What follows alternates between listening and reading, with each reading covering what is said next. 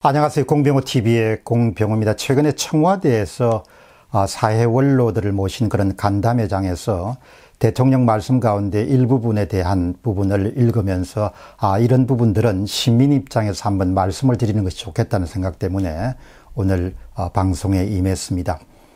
이번 원로 간담회에서 나왔던 내용 가운데 가장 인상적인 부분은 적폐 청산을 앞으로도 계속하겠다. 그런 의지를 분명하게 표현하는 대통령의 말씀에 아, 여러 가지 생각이 교차했습니다.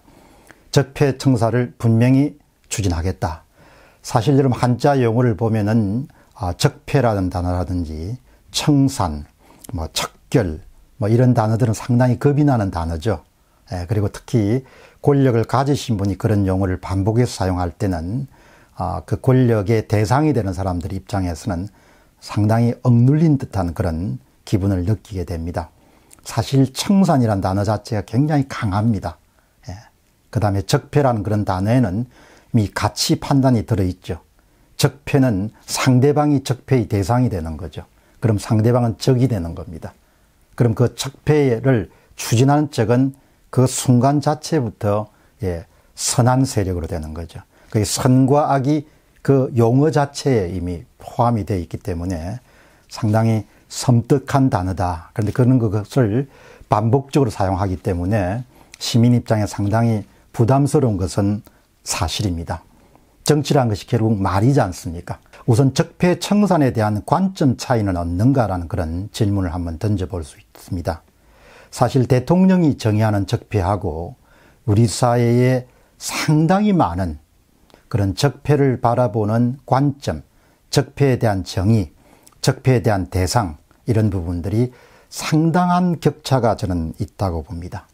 그리고 그 50%를 넘어서는 대통령의 적폐에 대한 그런 정의 자체가 문제가 있다라고 생각하시는 분들은 사실 그 적폐 청산이라는 것이 권력을 차지한 사람들이 반대편을 숙청하거나 제거하거나 억압하거나 탄압하는 수단으로 사용되고 있다. 이런 생각을 가지신 분들도 아마 우리 사회에서 절반 이상을 저는 차지할 걸로 봅니다. 그러면은 어, 대통령은 또 이번 그 모임에서 검찰이 수사하는 것을 내가 어떻게 해볼 수가 없다.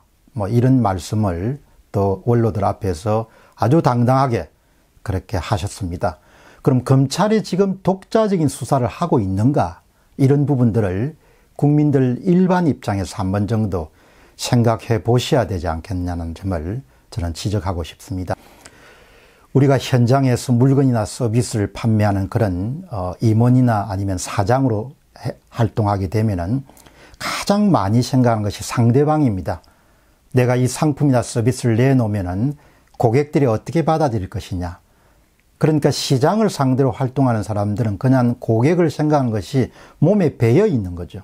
왜 그런가 하니까 고객을 생각하지 않는 순간 바로 망하기 때문입니다.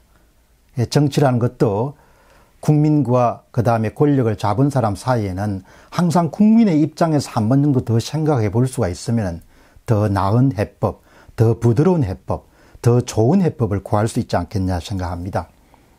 아무리 선한 일을 하더라도 이번에 박찬주 육군 대장권을 보면은 정말 시민 입장에서는 화가 나는 일입니다. 박찬주 육군 대장 같은 경우는 그 당시는 육사를 들어가기가 굉장히 어려운 시대였습니다. 아마 저와 연배가 거의 비슷한 연배들이기 때문입니다. 그러면 어렵게 육사를 들어가서 개인적으로 많은 것을 희생했을 겁니다. 장군까지 올라가는데 운이 좋았다, 뭐 이렇게 이야기할 수는 없죠. 어느 조직이든 정상에까지 올라가는 데는 정말 개인의 사생활을 다 포기하고 명예를 갖고 예, 국가 보위라는 부분 기치를 높이 세웠기 때문에 아마 장군까지 되지 않았나 그렇게 생각합니다. 검찰이 수사에 임하고 여론이 미친 듯이 공격을 가하고 그래서 한 사람의 인생의 전부를 다 날려버리는 것을 우리가 직접 목격했습니다. 거의 광풍이었습니다. 그 다음 이제 두 번째로 우리가 질문을 던져볼 수 있는 것은 적폐청산의 정당성은 있는가라는 점도 한번 우리가 짚어봐야 됩니다. 대통령의 이 적폐, 나는 이, 이것이 적폐라고 생각한다. 이렇게도 뭐 판단을 내릴 수가 있죠. 그러나 현대 민주사회에서 대통령이라는 자리는 선출된 자리입니다. 그리고 자신이 갖고 있는 능력과 상당히 운이 결합돼 가지고 우리나라에서 공직자 중에서 가장 높은 자리에 오르게 된 것이죠. 그러나 자연인의 입장에서 볼 때 대통령이 보통의 잘 교육받은 시민들보다 월등한 변별 능력을 가졌다든지 월등한 지혜를 가졌다는 것은 입증할 수 없습니다. 나는 이것이 적폐다 이렇게 생각하시더라도 그 적폐란 부분 자체가 틀릴 수 있다는 부분에 대해서 항상 문호를 열어두셔야 그래야 실수나 실패나 또 이런 부분들을 좀 줄일 수 있지 않겠느냐 그런 생각을 하게 됩니다. 그 다음에 이제 세 번째는 적폐청산의 역사적 경험에 대해서 한번 보겠습니다. 정말 어, 절대 권력, 아주 일반적으로 큰 권력을 장악하게 되면은 상대방을 숙청하기 위해서 적폐청산과 유사한 그런 어, 정치적 활동들은 역사적으로 아주 빈번하게 일어났던 사건 가운데 하나입니다. 구소련에서 스탈린이 주도했던 그런 어, 청산, 숙청 작업들도 대부분 어떤 빌미를 잡아서 상대방을 제압하는 거죠. 그리고 중국의 문화혁명 당시 일어났던 것, 천안문 당시 일어났던 것, 그런 부분들도 대부분 전체주의 사회에서나 적폐청산 같은 부분들이 일어나는 점을 우리가 목격할 수 있습니다. 우리 가까운 북한 같은 경우는 6.25 패전에 대한 책임을 물어서 박헌영을 비롯한 남루당 일당을 처결하고 그 다음에 중국파, 연안파 이런 부분들을 다 처단하는 것도 대부분 이렇게 보면은 청산의 일환이었습니다. 그런데 민주사회에서는 대부분 청산 활동은 거의 없습니다. 좌파가 주도하는 사회에서는 척결과 권력투쟁이라는 것이 일상화되어 있기 때문에 항상 우리가 좌파가 주도하거나 좌파 색지가 강한 정권에서만 척결과 청산 같은 부분이 유행한 것이 바로 역사적 경험이라는 점을 한번 염두에 두셨으면 좋겠습니다.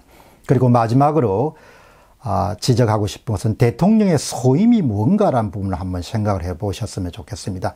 대통령이 마땅히 수행해야 될 역할, 대통령이 마땅히 맡아야 될 소임이란 것은 분열을 봉합하는 겁니다.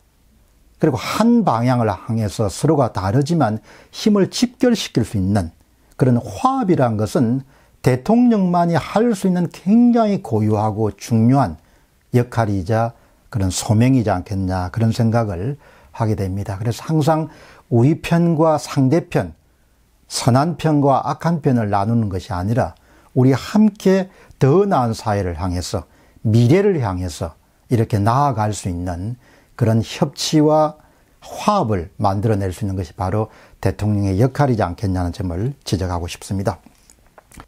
공병호 TV의 공병호였습니다. 감사합니다.